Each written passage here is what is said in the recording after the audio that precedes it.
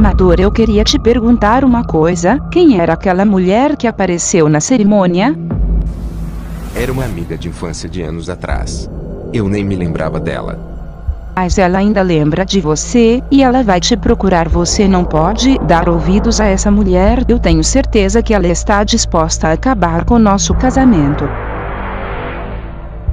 Ontem na festa de casamento, eu vi ele beijando aquela mulher que apareceu na cerimônia e me insultou. Mas ele vai me explicar tudo, inclusive o que ele tem com aquela vadia.